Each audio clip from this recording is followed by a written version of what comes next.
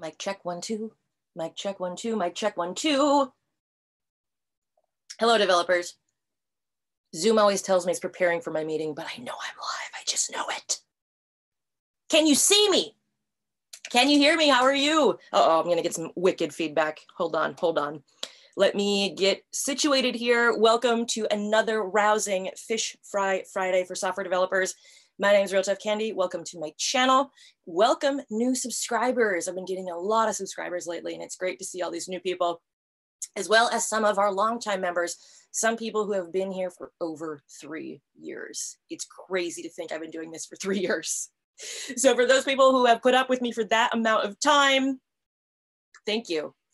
Let's go and um, just give me one second here. I don't like dead air, but I need to get my little settings set up so I can see your guys' comments, what you've been up to. I did state that it is a Friday, so we are gonna be going into an awesome weekend this weekend. So exciting that Friday's already here and we can now enjoy the weekend. It's here, yes. Okay, where am I on this thing? I know you guys can't, thankfully you guys can't see what I'm doing right now because it's pretty embarrassing. Um, hello, where's the frickin', okay. Can you guys hear me? Is there there's like a 20 second lag on this thing. Just just let me know. Just blink twice if you're being assaulted with my voice right now. Manage. Okay, we're getting closer, developers. We're getting closer to this. I have to click like seven things. I know no one cares about this. I just talk a lot when I'm nervous. Wow, we have 27 people in the chat already and seven likes. I just started this thing. Okay, Tech Rally. What's up, Randy Miller? I'm live. What's up, Randy Miller? Shout out to Randy and all my other YouTube channel members. YYY, triple Y dollars. What's up? What's up? Jome favorite. We can hear you, Justin Clark. What's going on? Laszlo, go team manatee. That's yeah. I still need to to uh, add some manatee emojis for for the Discord and and this this chat. By the way, people like Donovan. What's up, Donovan? Donovan, Randy Miller, my YouTube channel members they have some perks, and one of their perks is custom emojis in the chat. So, uh, what did I add? A Wendy's parrot GIF or something. There are just some crazy ones there. Uh, the JavaScript logo and a few other ones. So, definitely uh, feel free to take advantage of those as the as the mood fits.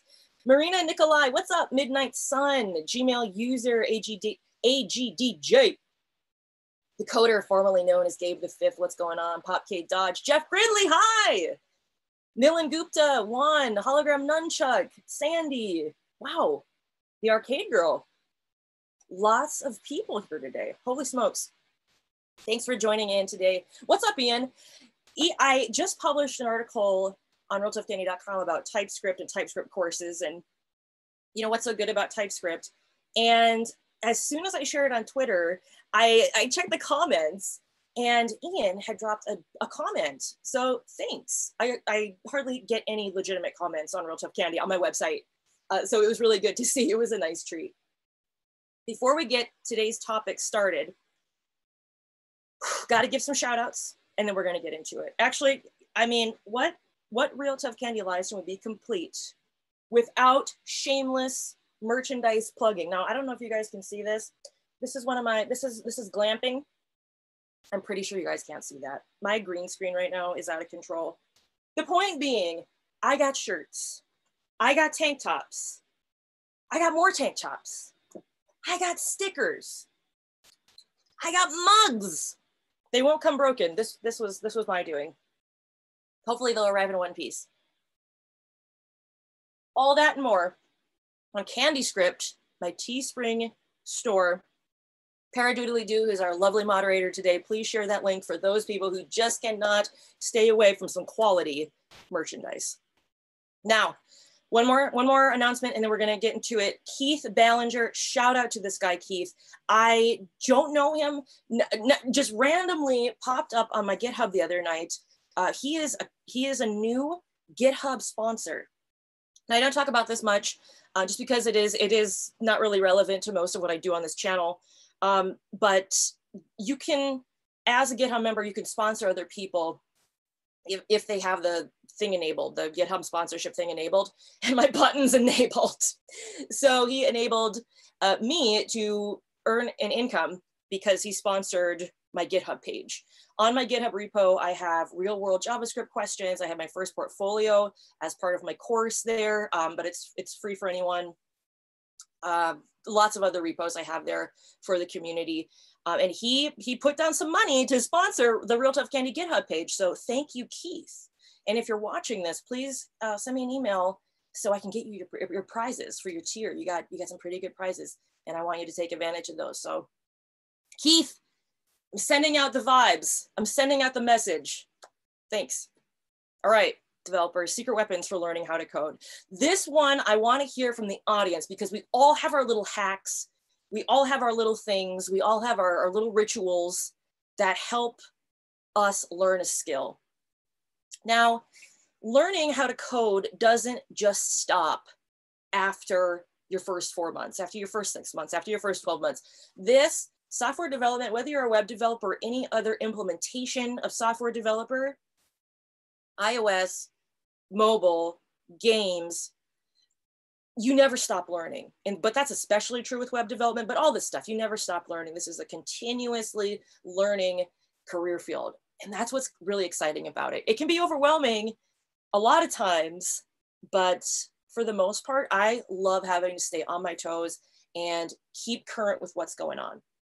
So what I'm saying is these secret weapons, these not so secret weapons we're going to talk about today, they're not just for newbies because I still use I still use these things. I'm what three four years into this. I I started learning how to code in 2014. I got my first enterprise job in 2018, and I so yeah. I mean, I haven't been in the industry all that long, but long enough where I'm like, okay, I'm not a newbie anymore. If I had to self-assess, I'd, I'd say mid-level developer. I'm at the mid-level tier, and that's where I'd be comfortable working. Um, if I were to go back to enterprise, which I'm not, thank the gods. Thank you. Uh, but to each their own. Anyways, so let's get into the first secret weapon. Let me hoist this up here. Ugh. Books, books, all types of books. White, green, black, purple, command line books. Sorry, Missy Elliott. Um, books are an amazing reference guide. that made no sense. Books are amazing. Books are amazing. And I love them so much. If most self-taught developers, we we use the video-based track for, and it's like videos are awesome. Videos are so great. And I wouldn't be able, I'm, I mean, I might even be still studying software development if I didn't have videos to help me. But books was where books gave me a new perspective. And they also shared information that sometimes isn't great for video courses. Like a lot of the theoretical stuff just isn't great for a video course. There's one course in mind that is an exception. That's Tony Alicea's JavaScript, the weird parts. It's the driest video course you will ever take. And it's amazing, but most times that stuff is better suited for a book.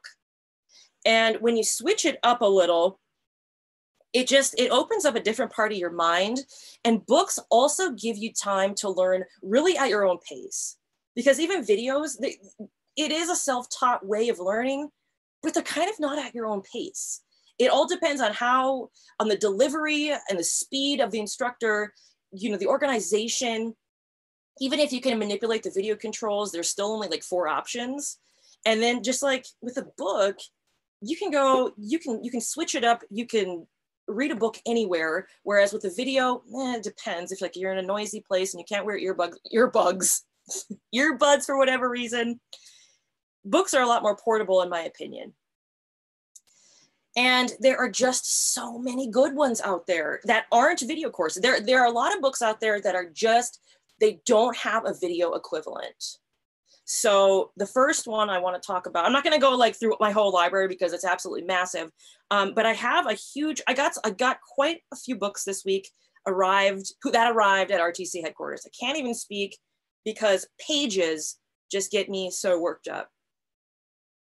So this is, this is one of my first web developer books that I got, A Smarter Way to Learn JavaScript. And when people ask me, what should I study? What should I use to learn JavaScript? This is the this is what I say. Whether above every above everything above everything, if you're having a hard time learning JavaScript, check out this book. This was an absolute game changer for me and many others. And our mod, Paradoodly Do, I recommended these books to Paradoodly Do as well. She's a code newbie. She's been digging it because uh, this guy, Mark Myers, he also has one on HTML and CSS. So what you do, let me just, I don't know, can you guys see this?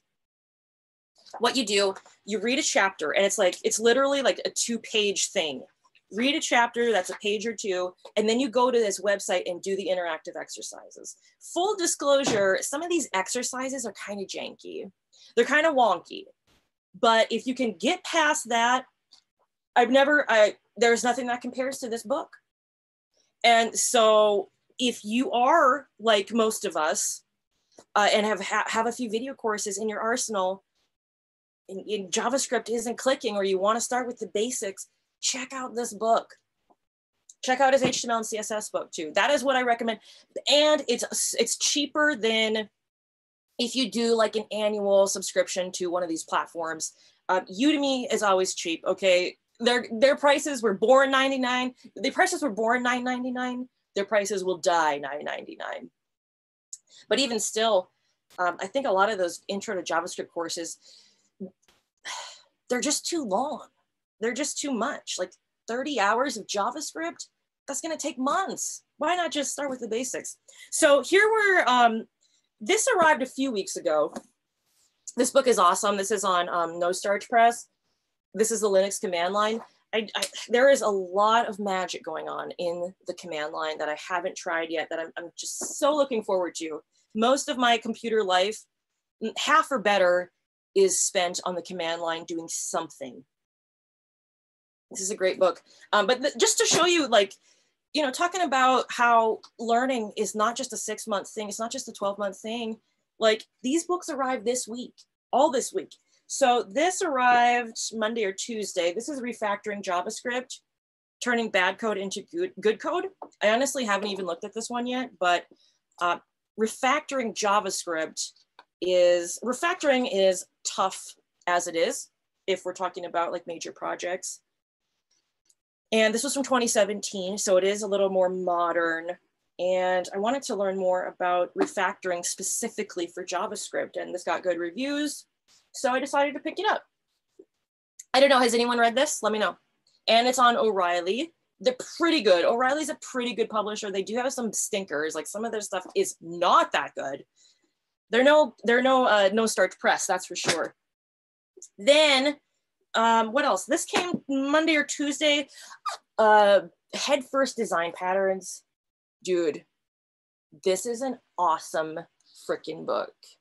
I tried reading this one a few years ago and it was totally beyond me. This is if you are needing to learn more about object oriented programming, this book is awesome. It's not for newbies, but I would say beginner plus to intermediate would would benefit from this. The code samples are in Java, um, but this is all. This is just an example of like I don't know what it's. What is an example?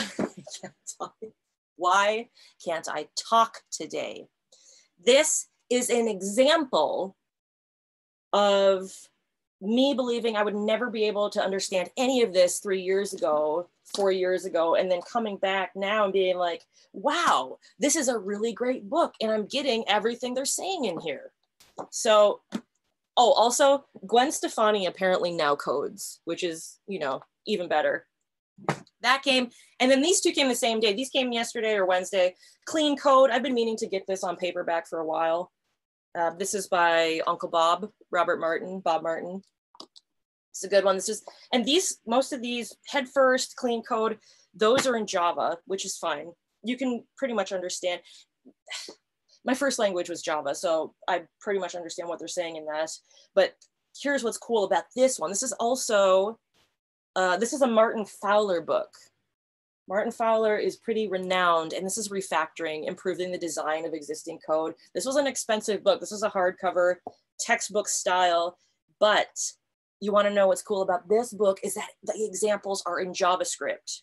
You rarely see that in a textbook. Most schools are teaching Java or Python or C++, which is why you see a lot of these books written in Java, Python, or C++, at least these, these academic books. But this is like the first, this is really the first academic book that I've seen that is written in JavaScript. So yeah, I read two refactoring books. Um, you know, this is obviously the exception here because it does say JavaScript, but this isn't an academic book. So whether you're a code newbie, intermediate, advanced, there are books out there. Some people just don't like books, and I, I totally get that.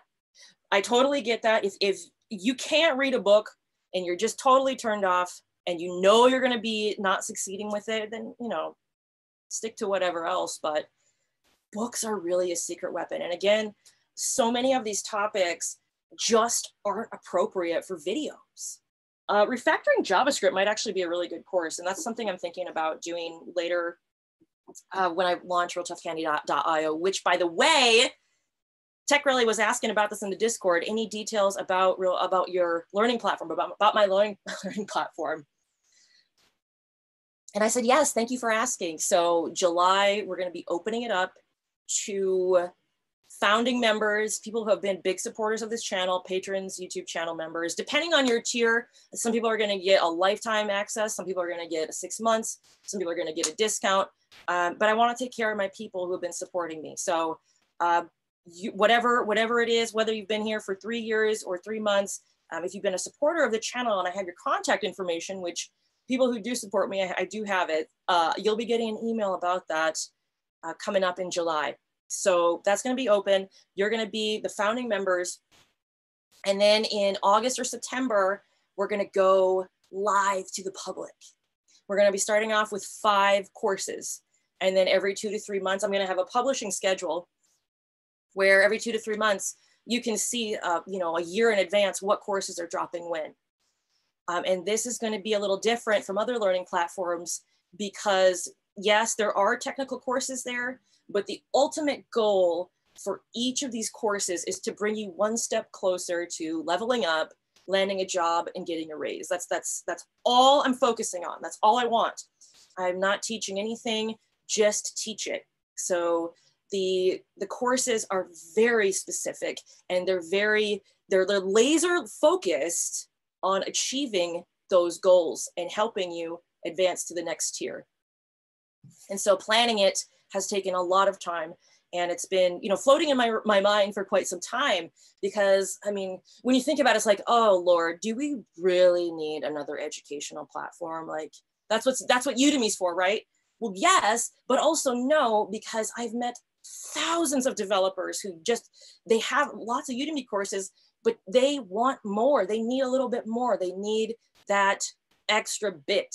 And so realtoughcandy.io is going to be that extra bit. That's going to be a, a big bit, a big bit in their bite. So yeah, really looking forward to it. And we're to have some really good, awesome extra perks too. We're to have guides, um, coupons for my books, like free, free books for, for accompanying these courses. We're also to be doing monthly workshops, bi-monthly workshops, meetups, uh, the works. And again, all coming back to leveling up, landing a job, and getting a raise. So we're going to be talking more about the course list. I don't know when, before July, but that is what I've been working on a lot in the time I have to work on that stuff. So thank you everyone for your support. And thanks Tech Rally for re reminding me to, you know, tell people about this instead of just having them assume that, that it's going, going on. Okay, what do you developers think about books? What are some books I should be reading? Because there are a lot here that I that I've shown in other live streams, but what what should I snag? Put something on my reading list. Let's go to the comments. German Shepherd channel info channel. I like your username. Lee Forest. Man, we got a lot of people here. Dickie's beer reviews. What's up, Dickie? PBR. I love how you have the X through the PBR. That's really funny green screen drowns it out. Yeah, I'm sorry. This, um, darn it. Yeah, there's nothing much I can do about it. But anywho, let's go to the comments. Madeline Caples says, if a book has examples in Java or some other language, is it possible to follow for someone coming from JavaScript? It's gonna be tough. It's gonna be tough. Let me see if I can show you without blasting out the page. Let me show you an example of what Clean Code has. Let's see. So let's go here. Let me just make sure you guys can see. Okay, hold on. hold on, hold on, hold on.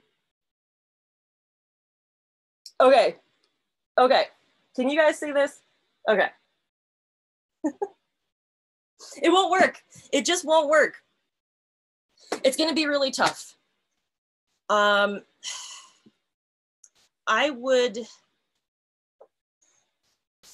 it's a hard call. It's a hard call you may be able to just peck through it. Sometimes the books go line by line or like block by block, statement by statement, and explain what's going on. Uh, but not knowing the language of the samples, even just at a basic level, is it's going to take a lot away from your learning experience. And unfortunately, again, uh, most textbooks, most of these big, big type, massive books, they're doing it in Java, C++, or Python. Usually I see it in Java, even cracking the coding interview, Java. And it's just, it's frustrating for web developers because we don't normally code in Java. We don't have a reason to learn Java. Unless we went to college or took a Java course for whatever reason. Um, the only reason I'm able to halfway understand what they're saying in your number one, uh, Java was my first language that I studied for a few months before I hit a complete brick wall. And number two, um, you know, being a little more experienced. I mean, I'm not, I'm not a senior, I'm not a 20 years in the business, but picking up a different language for me is, is largely just a matter of syntax. Yes, there's are, there are different things. There are things in Java that you, you just don't see in JavaScript, for example. But for the most part, I can, what I don't, what I don't use, what I don't understand, I can just look it up uh, but for a newbie, it's gonna it's it is tough because I've tried to read these books as a newbie. I'm just like, what's going on? Seriously? It's just, yeah, like these headfirst design patterns. I wish this book was in JavaScript and I would be talking about it all the time. And the reason I don't is because it these examples are in Java. Um, so I don't know how much it could really help my audience who are largely web developers. That said, object-oriented programming is a really important thing. So I really didn't answer your question that much, but in my experience, it is it is tough as as a beginner looking at these these books that aren't in web development. Midnight Sun, I'm just a girl who can code in the world. It's like Gwen Stefani. Dude, seriously? Does this not look like Gwen Stefani? I'm gonna show this and it's gonna disappear anyway, but hello? Who came in with the breeze on Sunday morning, Gwen? Head first design, design patterns, head first design patterns, thought so developers, I can't speak today. I'm gonna have to have the mod come on, just just take control of the live stream, and and I don't know what, and just take over. We got some new people here, coding programs. Java was my first language, uh, too, but after that, every other thing became easy. That is the one. That is the silver lining of learning something like Java. It's like your second language is so much easier. I really don't consider Java my first language because it was it was like my zero language. I didn't spend all that much time on it and I just I'm glad I did fumble with it or yeah, I, I fumbled it. I flailed and fumbled with Java. After I learned JavaScript though, Python Python was an awesome language and it's it, it was so much easier to learn than JavaScript or Java. Oh my gosh anyways, that, that's getting off topic. Madeline says, I got how to think like a programmer because it looked really cool and it claimed that the principles were applicable for all programming languages, but now maybe I need to learn some C++. That is a great book too, which I do have. I have it somewhere. I showed it on a live stream a couple months back, I think, or talked about on Discord or something. That is a great book. That is a great book. And it is, it's C++ but it, I have I've coded what like three lines of C++ in my entire life, but still, I mean, you can still get a lot out of it. Um, Yeah, because the first chapter, the first chapter doesn't have to do with code. It's more like thinking. I'm just gonna shut up. Midnight Sun says my first language was C and C sharp. Ooh, I've always wanted to learn C. There's just something about it. It's it's it's timeless. It's classic. It's just C. No no sharps, no pluses, no minuses, no C minus minus, no F sharp. Just just C. Just it just sounds great. What's going on, Uriah Clark? German Shepherd, Richard Me, one, two, three. What's up? What's up? Draco Vite says, I have a few good JavaScript books now serving as dies for my monitor. How do you say that word? D A I S? I've read it. I never have used it though. Dan says, try the JavaScript book series from Manning by comparison O'Reilly is dot, dot, dot. You know, I have one or two Manning books, but I really haven't explored their series all that much. Whoa, uniform malfunction. Okay. Let's go back to the comments here. Yeah, we got some green screen LOLs. It's my bad. I, I just love my fish so much, my, my swimming aquatic friends that I can't change. And so my live stream people suffer because of my greed of wanting to see to see some fish. Okay, Mohammed, what's going on? All right, developers. Ed, Ed 313 says, I just finished second semester. The teacher taught us code principles with Python. Good. Python is a great first language. I'm seeing more, not boot camps necessarily, but colleges start out with Python, which is a good thing because Python is just such a beginner friendly language. It's never want to use the word easy to use, but it is so silky. It's so, it's, it's a very forgiving language. The same can't be said for Java. But as the other person said in the comments, you know, once you learn Java, everything else is easy. Okay, so the second secret, the second secret weapon for learning how to code, community. Community, say it with me, community, community, community. community. Coding in a bubble is a bad idea. It gets you in bad habits. It makes you think that development is only done in a bubble. And in my opinion, it sets you up for some bad habits. Finding a community can hold you accountable, can show you about the real world of coding. They can cheer you on. You can share ideas with them. You can do a lot of stuff with the community. And as web developers, for us web developers out there, our community is awesome. I was talking about this last night in the Discord too. We were talking about PHP and uh, JavaScript and all this. One of my gripes with, with PHP is that the documentation stinks in the community. When compared to JavaScript, it just, it, it's down here. The JavaScript community is, as much as I want, as much as I do kvetch about JavaScript, the community is awesome. The community is awesome. And the things created by the community are awesome. I've been suffering from JavaScript fatigue for about two years. These new frameworks, these I was working with Vue. I was working on this contract this week that involved Vue. Dude, and Vlaslo asked me, Vlaslo is one of my my my main guys on Discord. He he asked me, what do I think of Vue? And I said, you know, I think it's okay. And it's not the fault of Vue. This is my problem because I've been suffering from JavaScript fatigue for two years. Um, but even with that fatigue, the community is absolutely fabulous. We are so spoiled with the Mozilla docs with MDN. If you've ever looked at PHP's documentation, it's it's it's wretched. It's, it's really bad.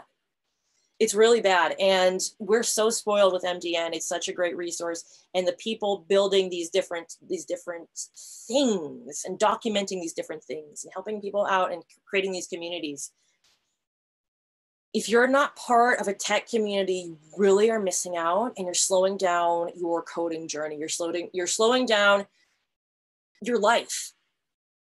We talk about meetups all the time on this channel too. Meetups are an excellent place. They're an excellent resource. Unfortunately, because of Aunt Rona, um, a lot of them have been canceled. Some of them are going online.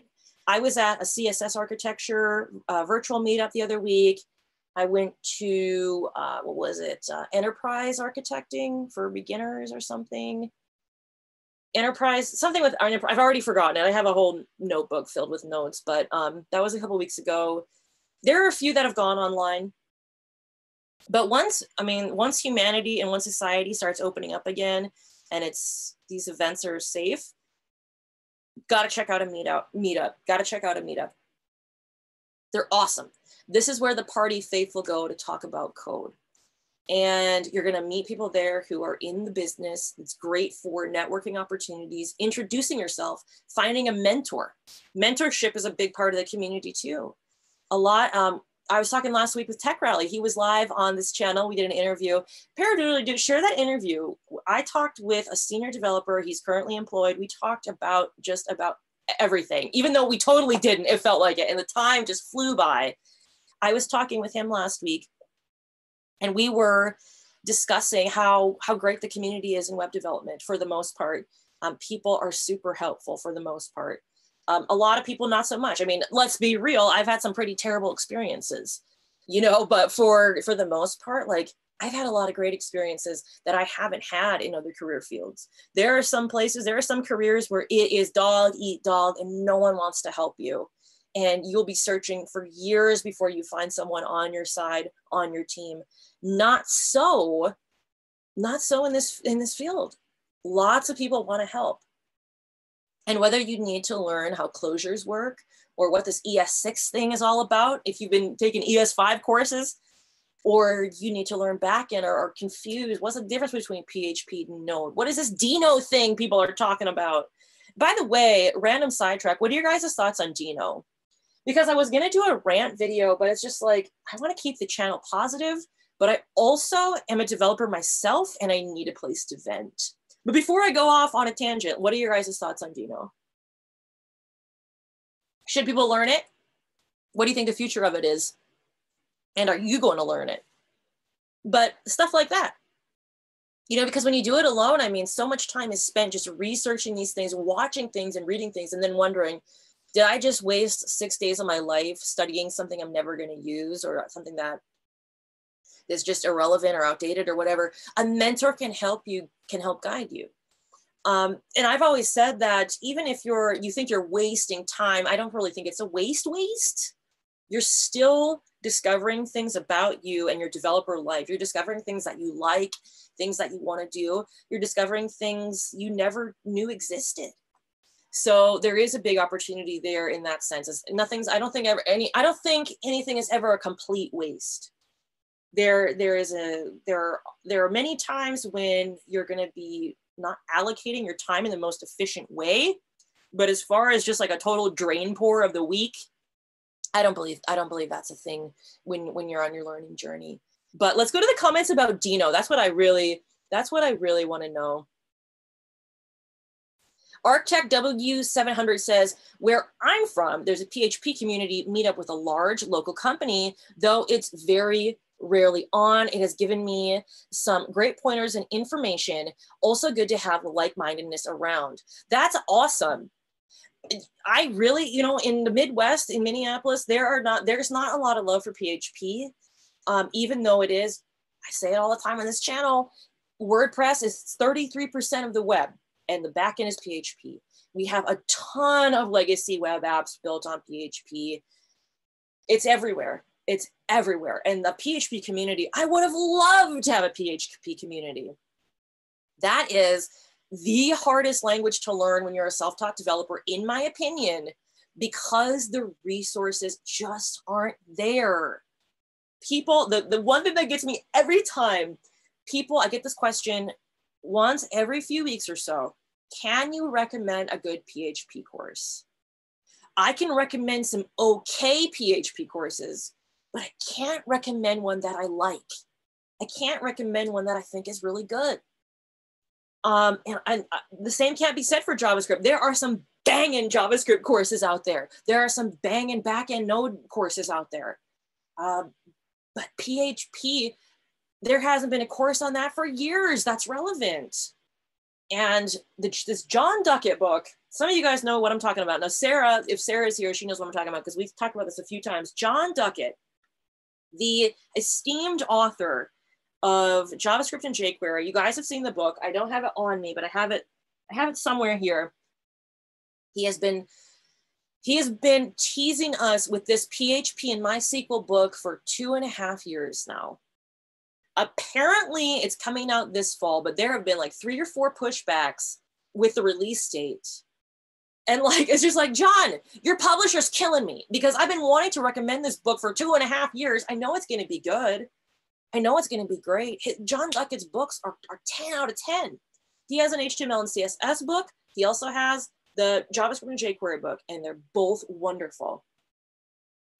And that could be this this could be a game changer for PHP. But um, this is a, a total tangent, but not really, because community can make up for the lack of resources in a certain area. Now with vanilla JavaScript, you have your resources, but as far like giving you insight, a book can't give you insight that's current for May 22nd, 2020. You know what I mean? Things are changing all the time. And even though these principles are timeless, getting some pointers from the community or getting some feedback with that can help you so much, can help you so much. So uh, whether you do meetups, whether you go find a mentor, whether you're doing Discord stuff, which by the way, Paradoodly do. I know I'm, you're a great mod and I know you've plugged that Discord in the chat. I know you have, so thanks. We have about a thousand members on our Discord. Uh, people are, are really, really cool. We chat, we have fun. People ask coding questions, people get advice, people share advice. Uh, it's just it's just nice. But you know you don't have to go to my community to find community. There are a ton of discords out there. There are discords based on technology. You know there's there's javascript discords there's web developer discords even dare i say reddit. Reddit is another place where you can at least get additional perspectives. Reddit is um you know i lurk on reddit but I, I do find a lot of the advice just or a lot of the posts are really cynical. And um, that's fine. I mean if that's how that person feels but just know there's other there's other perspectives out there. And there's there's definitely a reddit like there's a reddit feel. You know how youtube has a feel these different platforms have different feels. Reddit has a different feel um, but they do have a community there. So i don't want to knock it. It could be a great community for you. They're everywhere though so it, it is really important let's go check these comments Johan, what's going on? Nami B. Nami says, I get that the book of PHP is slow in the making. PHP is changing so much. 7.4 is crazy. So many JS like features. I believe PHP will regain popularity soon. Yeah, you know, PHP gets a bad rap. I understand why people don't like it. The syntax is horrible. Um, and just like I said, the documentation is pretty bad compared to MDN, but stuff like Laravel, PHP 7 really helped PHP's case. And with you know with these with these tweaks with the 7.4, I haven't checked out the features in 7.4. But or I, I haven't used the features, I should say, in 7.4. But there, there are these things like that. And people, I don't know. I think Laravel is a great, a great thing in PHP's corner right now. And it's it's fun, it's fresh. There is a community. There's um what is it? Laravel, is it laracasts.com? That's a pretty neat platform. Um, but just something that I don't I don't usually recommend for beginners because I don't think it's really newbie friendly. But yeah, coding program says Jon Duckett is the shiznit. Agreed. Professor Udd says 90s coding culture was more about genuine fans, not worrying about a career. I feel like those communities are hidden or gone. Is it possible to code for fun anymore without the stress of a career? That's a great comment. That's a great question. I wonder the same thing. I wonder the same thing. There is, this is my this is my theory, and um, I could be wrong, but this is what I've noticed. Back in the day, the web was for fans, it was for enthusiasts. and it was a hobby. And once we started getting cheaper computers, we started getting this internet connect. Internet became cheap. Internet became ubiquitous. Internet was everywhere. Then it was it, it was just like a utility. It was just like a utility. And it became so commercialized because that's where the money was and the, with the e-commerce amazon and all of this this mind share and all of these people billions of people online. There were the, the, the powers that be turning it into this quest for making money. And then we had stuff like and i'm going everywhere with this but hear me out. We have stuff like bootstrap and these things that make web pages look all the same the web from the 90s and 2000s was very imperfect, but it had some soul. The same can't be said for the modern web. And I've been, I mean, i am still an enthusiast, but things have definitely changed. And I, I don't know what the answer to your question is. That's a great question. Can people still just code for fun? Make make fun programs. Where I code for fun, I don't I don't code the web for fun, but um, doing stuff in Lin, doing stuff in the terminal is really fun. Working with Linux is really fun. Um, Ubuntu and shout out to Mahjong desktop desktop game on Ubuntu, but a lot of my fun stuff, my element is in the terminal and I just love working with it. And I will do that for fun, just, just to see where I can go and explore it. Uh, but we have, I mean, where do you go for people who just want to have fun? I think a lot of people using Linux, there are a lot of hobbyists in Linux and I think maybe that that enthusiasm for the web has shifted to other niches. Uh, Linux is a, is a great example of that because even on YouTube, you still have you see people who who just love it, who just love it to love it. They're not making money on it. Their YouTube channels, you know, they may have a few thousand subscribers, but there's this guy, Big Daddy Linux, he had he had these massive live streams and at the time i think he had like five not even 10,000 subscribers but he would have like 20 30 people on these live streams and people just talking about how you know how they tricked out their system and what they were doing with linux just just everything about it. And that was cool to see that there were still some old school style people who were just in it for the soul of it and because it was a fun hobby. And you know, honestly, if web developers and software developers didn't get paid 120, 220,000 dollars a year, I wouldn't be doing this channel. People, there, there is a resurgence in this in web development because it, it pays well. There's been a lot of media coverage, even though you know media is pretty much dead. Legacy media is dead. I, I remember I had a student subscription to the New York Times. They were really pushing the coding boot camps so instead of a hobby, instead of like, oh, look at these little creeps in their basement making this script, it's not like, oh, look at these creeps working at Google making a quarter million a year plus plus benefits. So, you know, I don't know. I don't know what else to add to that, but that is an interesting observation. It's something I do think about a lot because I don't use the web like I used to. I use it as a business mostly. I use it for community too but primarily when I log on in the morning, when I get up, it's not to surf the web, you know? And I think discovery of new things is, is getting harder. There's such a there's such a concentration of these different platforms. I mean, before Facebook, we had we had things we could customize like MySpace. You could actually customize the CSS on MySpace. And that's how a lot of people got interested in web development. That was their, their first experience.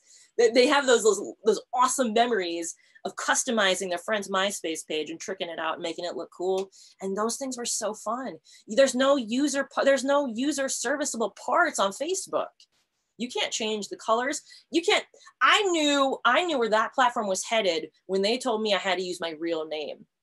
I said, no, I'm not, I'm not doing that. The only person who knows, who needs to know my real name is the freaking IRS on a good day. So we're not going to be doing, I'm not going to be doing that.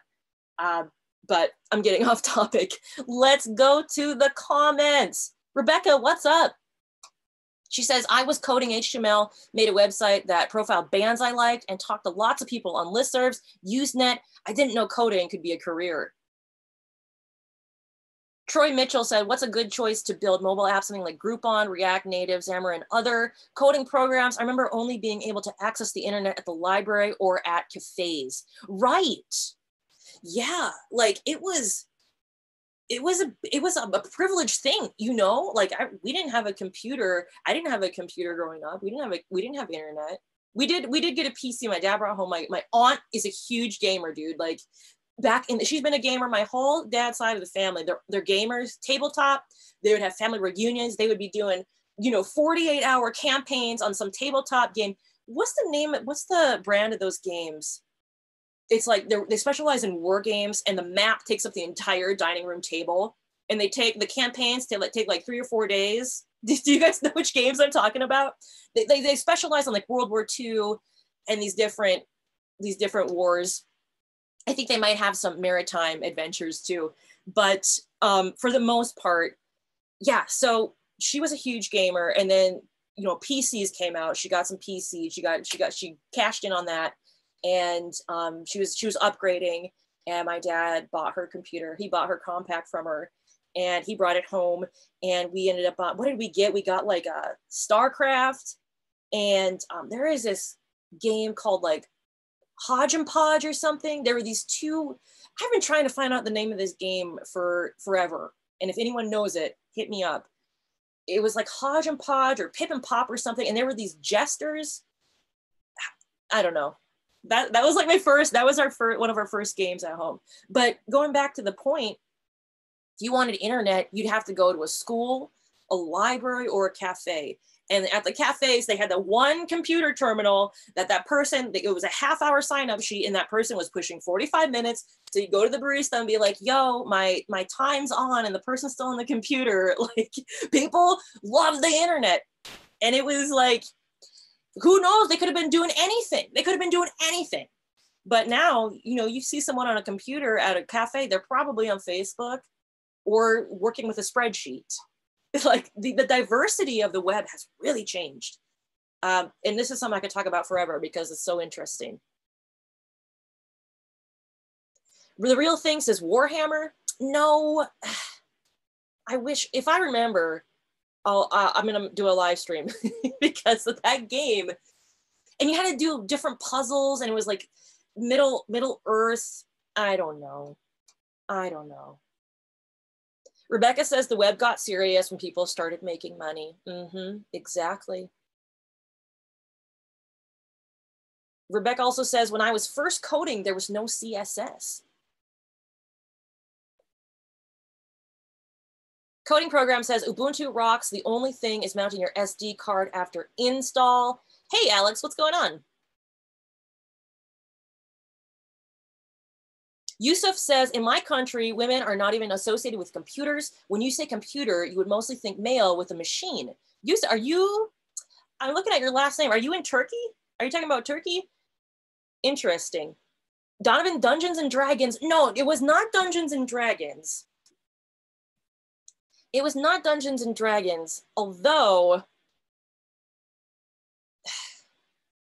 Avalon Hill, Midnight Sun. Yes, the tabletop games, the tabletop games that last four and five days, Avalon Hill.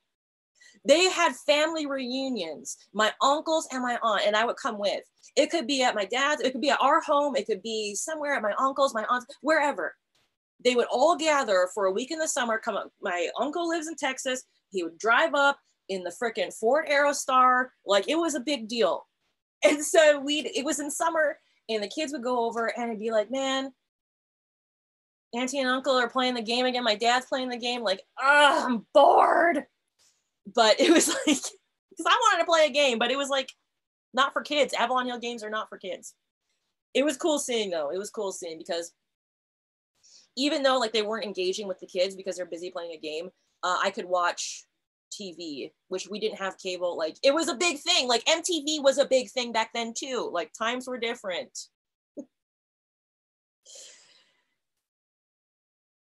Just going back to these comments here. Freeware. Alex Alex name dropped freeware. Yeah, man. I was this is a funny thing too. There were just a lot of there were a lot more DIYers back in the day and people just made their own tools and made their own things and the discoverability again we, we didn't have this huge emphasis on seo like did we even have seo people were just writing to write and do just to, just to create. I was on this old website the other night fontfreak.com This website has been around forever and it's a bunch of freeware. It's a bunch of free fonts. Um, and, and it's just like thousands of fonts you will never see on Google Fonts. It just breaks my heart when I see these tutorials or I'm like, you know, assessing, doing like some competitive analysis or whatever and seeing how these people do their courses. Every time they install a font, it's from Google Fonts. It's like, dude, there's more to life than Google Fonts. There's more to life than Google. There's so much out there. And Font Freak, fortunately, I, I showed some love to Font Freak in this course I'm working on. And we're, we're installing a font from Font Freak. So rest assured, Yusuf says, yes, I'm in Turkey. There's women fighting about it. I mean, Turkey is not that sexist, but culture doesn't allow that to change that fast. Yeah. Culture, yeah, he, yeah, that's a great point. Culture is, it takes a long time to establish and a long time to transform. That's a really interesting comment. And um, speaking of culture, I was, I was watching this woman, Erica, I forget her name, Curtis Davis, I saw him in the chat and I'm like, the YouTube algorithm knows me and is trying to, to push me to these videos that my subscribers are watching. Eric, was it Erica? Man, what's her name? Anyways, she is this businesswoman in Texas. She's super, she's just en fuego. She's en fuego with everything, man. I love her live streams. And if I can remember her name, I'll have Paradoodly share it. If you're, she has great business insights and her, her live streams are absolutely killer but she was talking about company culture and how uh, as an employer she doesn't want to do she doesn't want to do uh, work from home because when her people work from home she can't establish a company culture. And i thought that was really interesting because i was i never thought about it that way. I'm like that's right. Like how do you establish expectations? How do you establish that culture if people are working remotely and like you know these places like facebook and google that are doing work from home until whenever at least till 2021 how are you onboarding your people and how do you establish that culture? Just through a slideshow? Methinks not. That's not going to work. As yusuf said culture is, is very slow to change especially especially when it's massive like the culture of google and facebook and stuff. So uh, erica williams that's her name. She has a, a great channel for anyone interested in um, in business and trucking. I don't know. Do we have any aspiring truckers here, truck truck owners, 18 wheeler people? But yeah. Rebecca says, use the web to connect with people to trade mixtapes and bootlegs. Yeah, you know, back in the day, there was like people, and you could you could share your address. You could share things about you. You could send things to people and exchange things with people. I had a pen pal. I, I met this person in Lithuania who was really big into big into music, and we traded stuff and mixtapes and different, you know, paper products and things that people overseas in different countries would find interesting. Whereas if they're here, they're like, nah, this is all right. But you know, once you send it to someone in another country, it becomes really interesting, like cards and different paper things. Okay, so this is getting way off topic here. I have really been enjoying this conversation. Uh, if you haven't hit the like button yet and you are here, please do me a favor and smash it royally. Tell YouTube that we matter. So, okay, so we're talking about secret weapons for learning how to code. And I went on a big tangent. So let's get back. We talked about books, we talked about community. And now this is the third one. This is the third and final one journaling slash personal documentation. I have kept a journal since I was eight years old, and it's helped me in so many ways. It is great for stress, it's great for anxiety, it's great for just keeping a record outside of your brain of what happened. When I went to my first open source conference, what did I do? I took a notebook, I took a journal. When I work on big projects and I'm learning things, what do I do? I keep a journal. At my enterprise job, what was the first thing I brought to work? A journal. I have a thick, I have multiple journals from that job because every day I was scribbling things, page after page after page. And I go through these things. I was just looking at one of these journals the other night and I was looking through it. I was like, this is the markings of a serial killer. Like these scribbles and scratches are just so violent, like hastily written. But I was learning so much stuff. If I hadn't written that, written that down, I would have never known it. I would have completely forgotten it the next day And so having a record of what you're learning, of what you accomplished, of what you're having trouble with, it somehow, I don't know how, but it opens up your brain in different ways when you compare it to not keeping a journal. Keeping a journal can only help you. And one of the misconceptions about journaling is that you have to do it every day or you have to be really professional and be like, Dear diary, like it's your journal. You can do it however you want. You could even do a collage, whatever, whatever way you want to express it in your coding journey. And these, these things that you write down, that you bullet point down in your journal, okay, ES6 is frustrating me. Object oriented programming is frustrating me. Design patterns are frustrating me. You get it down in that journal, and all of a sudden, it's not just an anxiety in your head, but it's a real thing. And then you can, it's just something else to check off the list. It's just something else to just check off the list. I cannot recommend personal documentation enough, AKA journaling. You don't need a fancy journal. I like my fancies. I like my V5s, okay? I don't even have my V5 in here. I feel naked and afraid. Yes, I do. You know what? Yes, I do. This is my favorite pen model in the entire world. This is my precise V5 with a little custom color there for just for some flavor. I love my writing utensils. I don't know where I'd be without my journals. They have helped me so much in my coding journey that I would be half the developer if I had not opted in to writing things down. You also don't, I mean, you don't need, if you don't prefer pen and paper or whatever, use your computer. Just use Notepad or something and then, you know, do it however you want to do it. But that way, like I said, you're going to be learning so much stuff. You're going to be learning so much stuff that your brain says, okay, this isn't important to me right now. So what does your brain do? It just shoots it out the door and never to be seen again. But when you have a, uh, these notes, they're all of a sudden jogging your brain.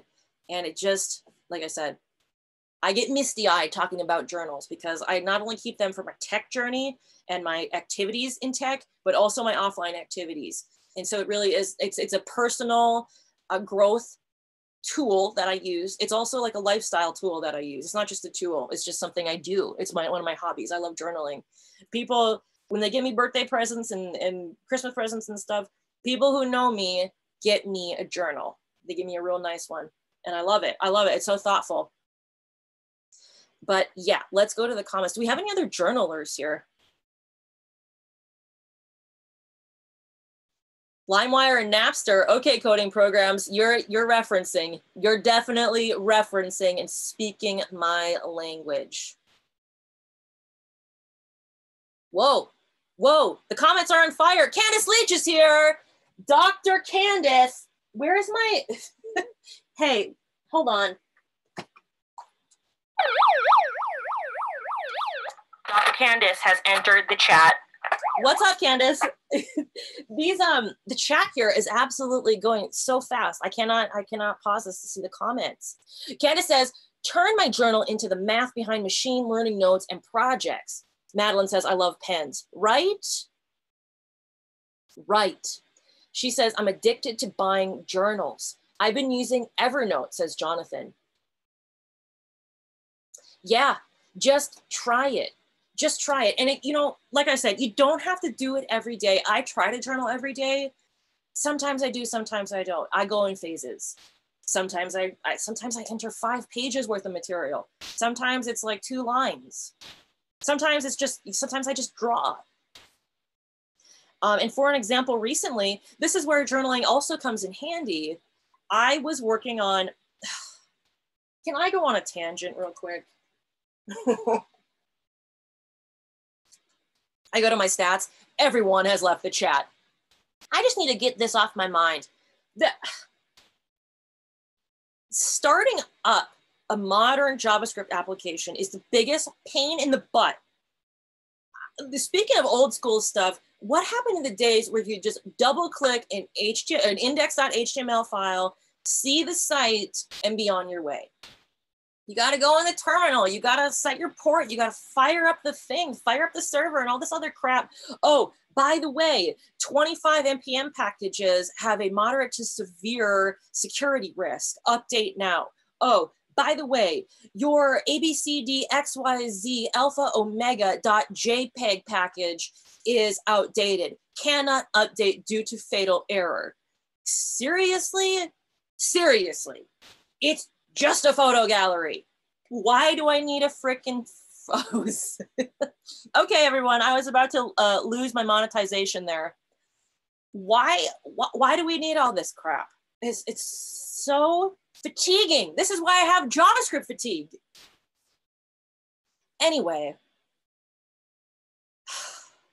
I was troubleshooting this doggone node server for five friggin' hours the other night just to see the application. I wasn't even coding in it. I wasn't even trying to refactor it or rewrite it or anything. I was just trying to get it to work. So five hours go by and I'm writing down everything.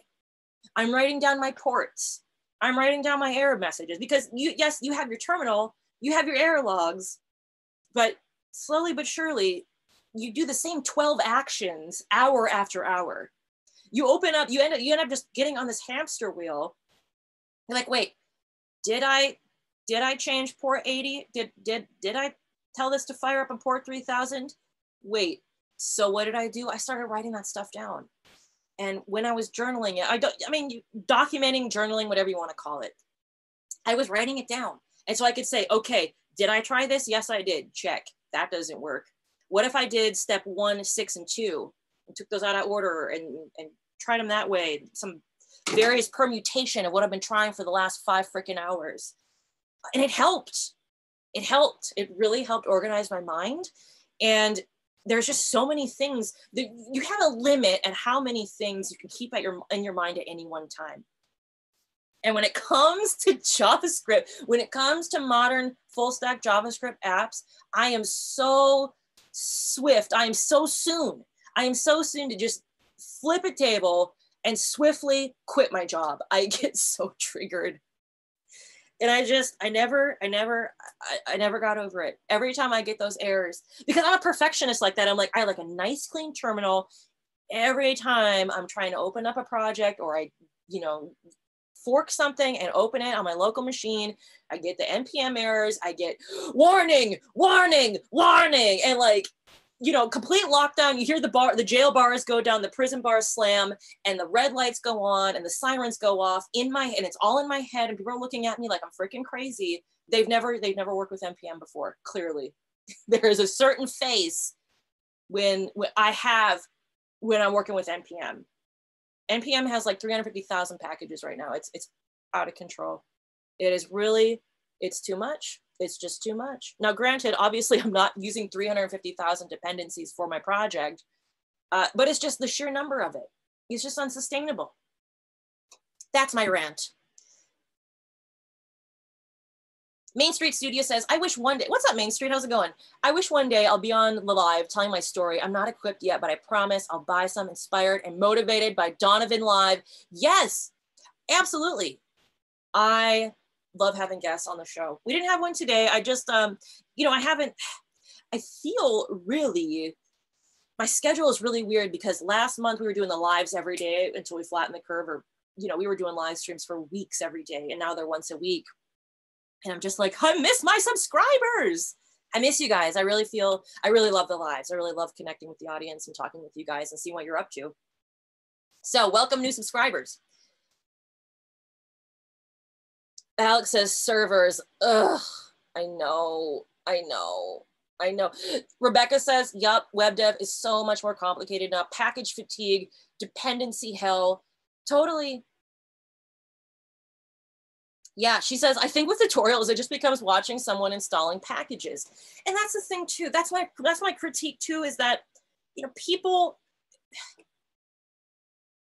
it's like a it's a, a this is a funny thing. This is a funny thing and i, I do sense some elitism here in, in some situations where people are like yeah wordpress is really it's not secure and it's not safe because of all these third party add-ons. And i'm just like what the heck is npm dude? Really? Really? And I, I, don't disagree with them. Like third party code can be very dangerous. Third party code is a great vector for attack for hackers. third party code could be written by a hacker. Do you really think those 350,000 packages or however freaking many, can someone look that up real quick? How many, how many packages are there currently in NPM? There's no way all those hundreds of thousands of packages have been vetted. It is just, it's just waiting. It's just, I just, I just see it waiting to explode. And interestingly enough, I was chatting with one of the uh, maintainers for the NPM CLI. And I asked her, it wasn't Ask Me Anything, and I asked her, what does she think the future of JavaScript is?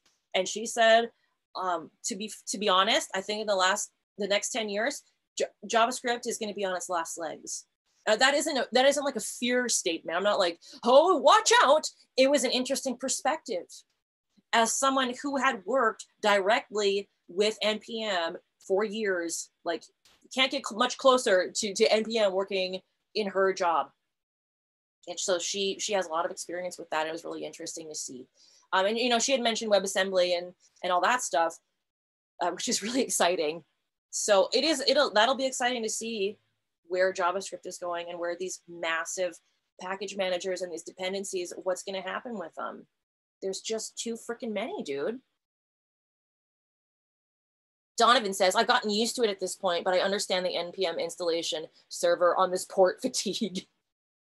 Troy said, yeah, exactly. You know, and I didn't even, for me, it's always been, oh, I'm sick of JavaScript. You know what? I'm not sick of JavaScript. I'm sick of the add-ons and the extras. I think, I think that's my, my real fatigue. My real fatigue is just, is, is the setup and, and the errors and the moderate to severe warnings and like the continuous updates. I don't, you know, there are obviously there are some some problems inherent in in JavaScript, the language, but my my bigger trigger is is all these freaking packages. Rebecca says it's cleansing to not use npm, any kind of preprocessors, libraries, and frameworks. It is. It is. It's organic. It's organic, and it is. That's where going back to that one person who commented on, you know, how the web has changed a lot of why it's changed and a lot, a lot of why it functions all the same and it looks all the same is because of these frameworks. They're very, very overbearing. Bootstrap is awesome, but it's also very boring. Everyone uses it. And so how do you create, how do you create a unique culture or a unique niche or a unique area for people when all this stuff when all this stuff just does the same thing and it looks exactly like it's the same freaking three colors. It's your off white, it's your gray, and like a business blue. It's your corporate blue. It's just like, how do people, how do we get that creativity back? I don't know.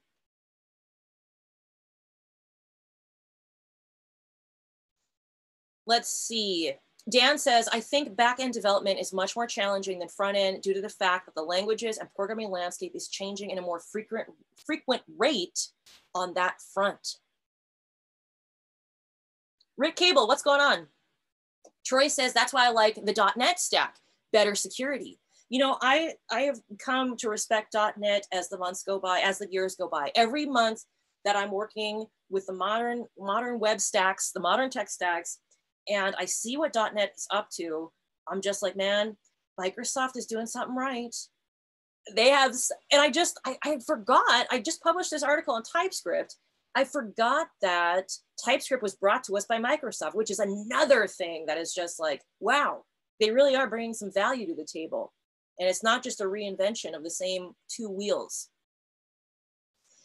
but I've never I've never coded in dot I've never used .NET I've never dabbled in it. I've only looked at it I've looked at Blazor which is another awesome thing full stack apps and C sharp. That's really promising that's really promising.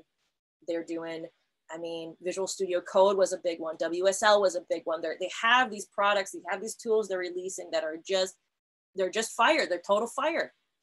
And I never thought I'd be saying that about Microsoft but they are doing some really great stuff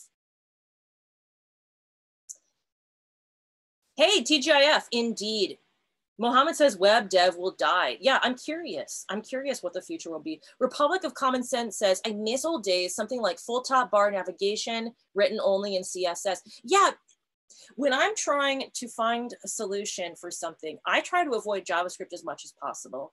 And it's not because I don't want to like, oh, JavaScript. It's just because a lot of people just use JavaScript just to say they did, just to be like, yeah, I'm a JavaScript developer.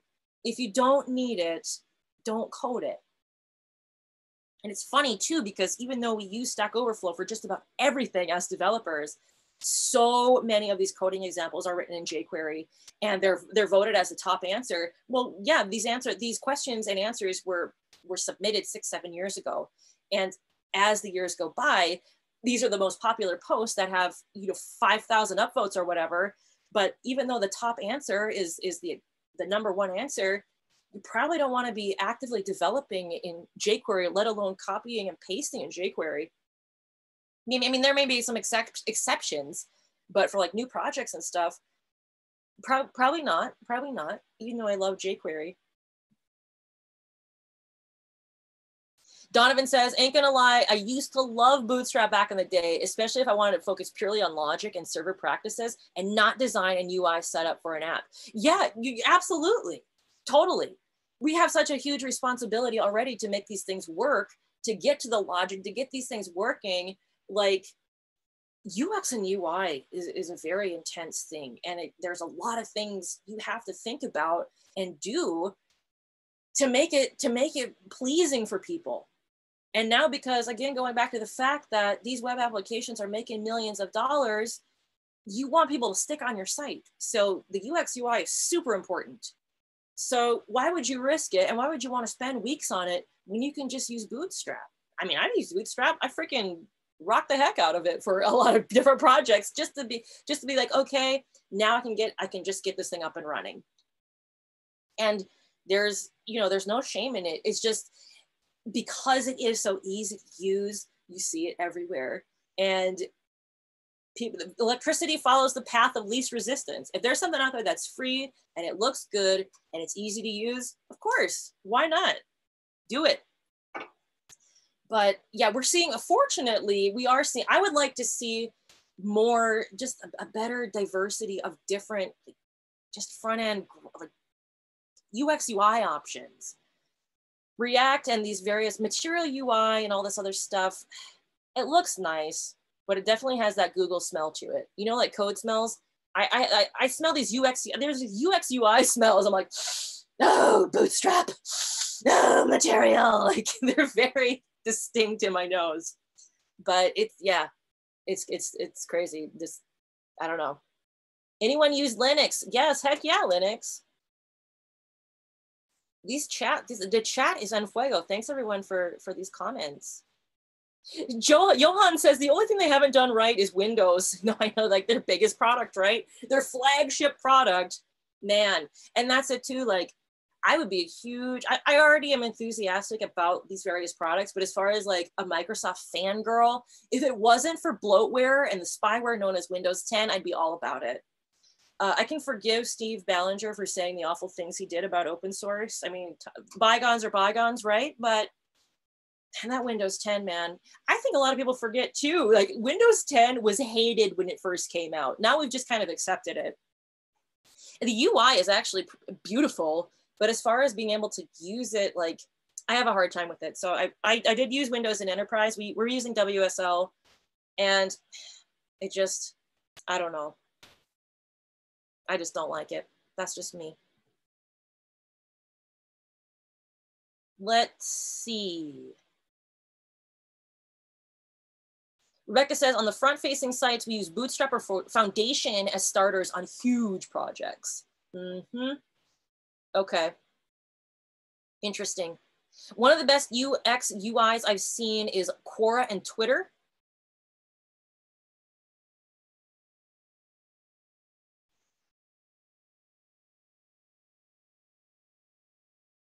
Dan says, I have seen several implementations that moved from .NET to Java due to lack of developers. Yeah, I would love to talk more about .NET. And in fact, I'm gonna write, I'm gonna write this down.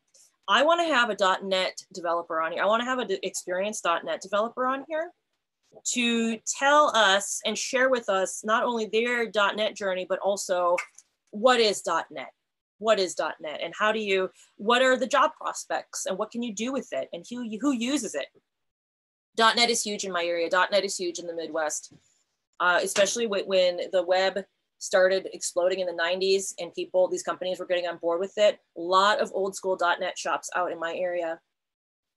And again, .NET is is is coming back with Blazor and stuff. And not like it ever went away, but I think something like I think you have you almost have to have a framework in order for it to appeal to to new developers. That's just like you know with the fancy the fancy promotional materials and all this other stuff. Like oh, you have a framework? Tell me more. There are a lot of careers out there in software development that are just not appealing to new developers and younger developers. Proprietary languages, for example, where I worked uh, we were using proprietary languages developed by IBM. There are not a lot of people out there that want to use IBM languages. There, there just aren't. These are these are good money jobs. They they're everywhere. And even stuff like COBOL, we're seeing that now with the unemployment problems with these mainframe computers in, in the United States for unemployment insurance. People having problems with that because the system's overwhelmed. Somebody here this was interesting. Somebody here actually got a COBOL job with the government the other week. They were unemployed. They taught themselves COBOL, and now they're they're on a contract or de facto employed by by their state government or whatever government organization. It was such a cool story. Is that person here? If you are, let us know. That was that was really cool to hear. But I would love to get a .NET de developer on here just because there are these pockets of development that aren't mainstream and so, you know, being on YouTube, there is a bias. Listen, this channel has thousands of subscribers. These videos get thousands of views. People come and tune in. I'm not going to spend an hour and a half talking about IBM proprietary languages because that's, I mean, it's just not interesting to most people. That said, there's a career there. So it's just another going back to these, going back to our main topic of, of secrets for learning how to code don't just stick to one platform because there's a bias on YouTube. Of course, we're going to talk about the stuff that most people are interested in because that's what gets us subscribers. That's what people want to hear about. But I also want people who who may be on the fence or not even not even knowing that these areas exist. .NET is a, is a great career track. There's a lot of stuff happening right now. And there's a lot of stuff that just never went away. We just don't talk about it. Proprietary languages, not just IBM, um, but these other companies too. A lot of some companies have developed their own in-house languages that you will never see online. Um, there's a lot out there. There's let me just there's just a lot out there that unfortunately because of the way that YouTube is set up, because of the way that I get rewarded from YouTube, I just it doesn't make sense for me to talk about certain topics. So do know, do know, and then we're gonna we're gonna wrap it up. But do know that these these opportunities are out there even if YouTubers aren't talking about them. So it looks like we have a super chat. Holy smokes! Donovan with the 14.99 super chat. Appreciate you. And Suburban Black Boy Radio with the 4.99 super chat. Thank you guys for that. I really appreciate that. I, I am motivated getting these super chats. Thank you very much. Candace says there's a healthcare startup in NYC that uses .NET. Interesting, interesting. I'm in healthcare. We use .NET and Java, says Rick. Rebecca says, I use .NET, but I wouldn't consider myself a .NET dev. I just work on themes built within .NET. So in the end, I'm mostly using HTML, CSS, and JavaScript. BK Pro 24 says, enterprises are all about .NET here in the DC area. Sabin Codes, hey RTC, I'm new here. How's it going? Rick Cable says, don't get me started about Salesforce and their coding language. Yeah, that's another example. That's another example that coding or coding sales, Salesforce. There's actually somebody who did contract work in the Discord, in the RTC Discord, who talked about Salesforce. And it's it sounds like enterprise hell in my from what he said. It just there are just little hints that reminded me of my time in enterprise. And it just it just reminded me of like a real grind uh, but again, don't let my bias stop you from exploring these options. Salesforce is huge. Salesforce is huge, and there's a lot of snoopy and pushy recruiters on LinkedIn trying to get you to work for Salesforce or Sales Salesforce, Salesforce, one of their affiliates. So yeah, developers in my neck of the woods, it's 509, and I'm gonna wrap it up. I wanna I wanna thank you all for joining me tonight. Let's recap what we talked about secret weapons for learning how to code. Number one, books. I apologize for my green screen, which was not showing my amazing books, but these just arrived this week. It's some really good titles. Whether you're a code newbie, intermediate, advanced, whatever, do yourself a favor. Try a book. Just try it. If you don't like it, I mean, obviously you don't have to stick with it, but it might open your mind up. It might, it might do things for you. Number two, secret weapon for learning how to code, community. Community. Number three, secret weapon, journaling slash personal documentation. You could even turn personal documentation into a YouTube channel. There are a lot of cool smaller YouTube channels out there that that use it for documentation. Just like, hey guys, I'm checking in. Craig Wadding, Code at 45. He does he, he does kind of like accountability videos where he just talks about you know what he's up to, his challenges, what's going on in his life. I like those community channels and those uh, those those personal personal smaller channels. Tech Rally, he he has some really cool videos. He does advice videos. He does insight videos.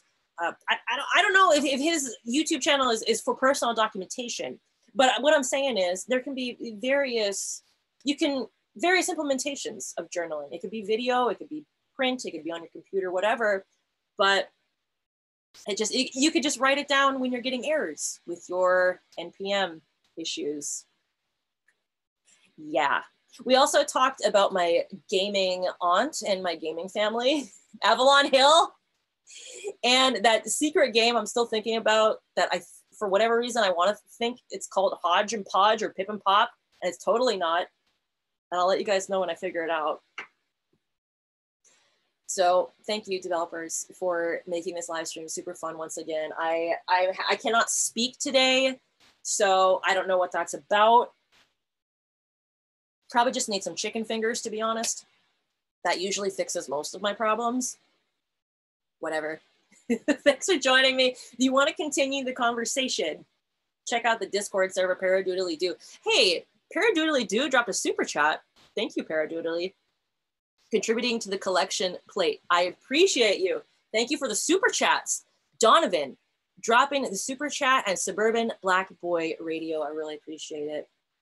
These live streams are informal. It's the Fish Fry Friday. We talk just about everything. As you saw, we had some great tangents. All right, I'm logging off, developers. I will see you in the Discord. I will see you in the next video. And as I always announce, these goodbyes are very awkward. So let's just get the awkwardness over with. See you later. Have a good day.